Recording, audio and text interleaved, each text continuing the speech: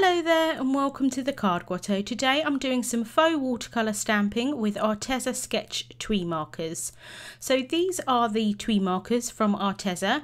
They did kindly send me these in return for sharing them in a video, but as always opinions are always my own and I wouldn't share them unless I did actually like them. They kindly sent me this pack of the 48 colours but they do have a set of 100 as well. This pack of 48 does have quite a good colour variety in them. There are quite a lot of yellows and pinks, but they don't have that many neutral tones. So if you did want more neutral tones and greys and browns, you may want to invest in the 100 sized set. They come in these trays where all the pens are lined up. One thing I did notice straight away was that the colours in the trays are not in the order on the back of the box. I'm not going to lie, this did bother, bother me more than it probably should have done, but I do like to have them in how I'm going to swatch them. And generally I swatch the pens in the order that they are on the back of the packet. So I did have to rearrange them. It's not a big deal but I did just want to mention that. So the pens themselves these are a dual ended water soluble ink pen. So as the name suggests they've got two different ends. The first end is a really fine tipped end. This is a plastic tip you can get some thicks and thins with these if you wanted to use them for like a small brush pen for calligraphy. And then the other end is a brush tip and that is a felt tip. They have really nice kind of coverage with these. Again, you can get some thicks and thins if you wanted to do these with brush lettering. I think this would be really nice set for brush lettering. Like uh, as you can see here, you can get some thicks and thins with them. You can definitely use them for colouring as well. It just kind of general colouring. You can use them kind of like for note taking, for bullet journals, anything like that really.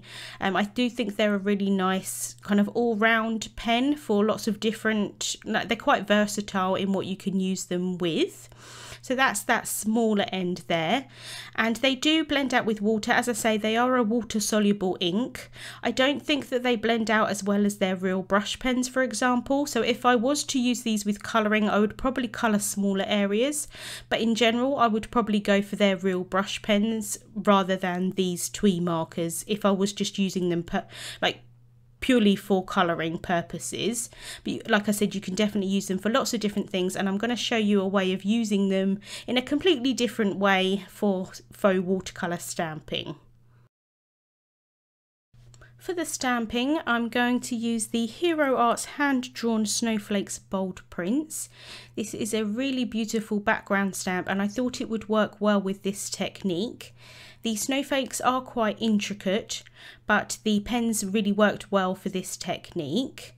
So I'm placing this in the MISTI and then I'm going to stamp onto some watercolour paper for this technique. I am using water so I want a nice watercolour paper to use. This is the Arteza Cold Press Expert watercolour paper and Arteza did send me this paper as well. I have used their premium one that I purchased in the past and it is really nice. I'm quite glad that they sent me this expert one as well. It's got a really nice smooth texture to it and again it worked really nicely for this technique. So I'm taking three shades of the TwiMarkers. This first shade here is the Cerulean and I'm just literally colouring in the stamp. So I want to have three different shades of the pens here and like I said I'm going in with this blue shade first. So I'm literally just colouring in on top of the stamp in various different places. I want the purple shade that I'm going to add next to be most next to the blue because I think that they blend the nicest together and then I'm going in with pink afterwards. I'm trying not to press too hard on the stamp. The tip of these pens did fray a little bit. That may just be how I'm particularly using them or they may just fray a little bit. Um, I didn't have too much of a problem with it but I just did want to mention that uh, to you. So this is the royal purple. This is a really, really pretty colour. I, I love purple, so I thought it would work nicely with that cerulean blue. And then here I'm going in with the burgundy, which is a really nice deep pink colour. And I'm just adding in the rest of the pen here, or the colour I should say, on the stamp. So just filling in all of the extra areas there. I'm not being too precise to make sure that they like blend really nicely together or anything like that because I'm going to spray this with water.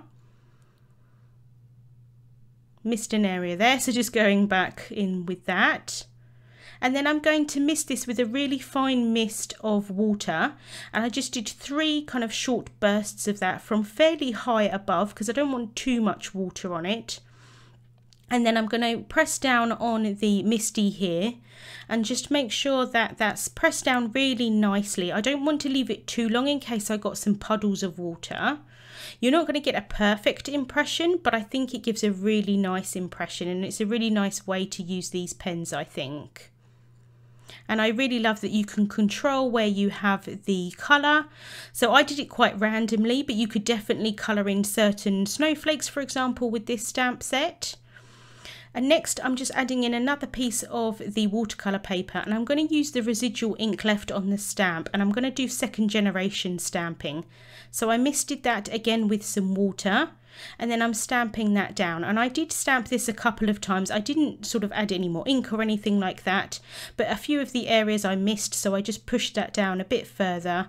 And it is a bit difficult to see on camera. It looks a bit lighter than it actually is in real life but I really loved this impression. I think I prefer the second generation of these colours more than the first but obviously that does just depend on which colours you've used. I used quite bold colours, so it's quite nice that you can get two different looks from the same stamping. So for this card, I wanted to keep it really, really simple. So I just stamped out this wish, wishing you all peace, love and joy sentiment from the Hero Arts Winter Holiday Messages set. I'd already adhered my panel onto a card base. I don't usually do it in this way, but for some reason I adhered it to the card base first. And I'm just stamping that down with some VersaFine ink. This is the VersaFine Clair ink in Nocturne and I'm just stamping that twice to get a really nice dark impression. As I mentioned I really like how this background turned out and so I didn't really want to cover it over eh, with anything so that's why I used quite a nice bold font for the sentiment and I'm just finishing off by adding some Lucy's Cards Iridescent Jewels into the centre of the larger snowflakes. I really like creating one layer cards for Christmas cards just because I have to send so many out. And I didn't want to waste the other piece of the first generation stamping but I didn't I felt that it would be a bit too bold for a card but I thought it would work really nicely for a tag. So I cut that panel down using the Hero Arts tag fancy die and I stamped out the sentiment from the Hero Arts colour layering snowy tree set and just heat embossed that onto some black cardstock and I think that that works quite nicely for a little tag and here you can see the difference between the generations of stamping. You can see them a bit better here in the photographs.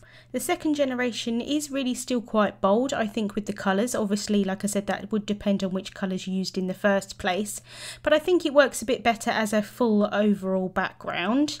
And then the smaller application of the first generation with it being quite a nice bright bold colour I think works nicer in a smaller application so it's nice that you can use them both.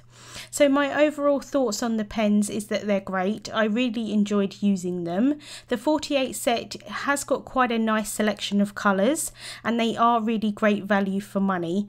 Like I said, I probably will use them more for techniques like I've used today rather than for colouring, but they do still work really nice for colouring as well. Links to the products that I used will be in the description bar on YouTube and also over on my blog. Thank you so much for watching and I'll see you soon.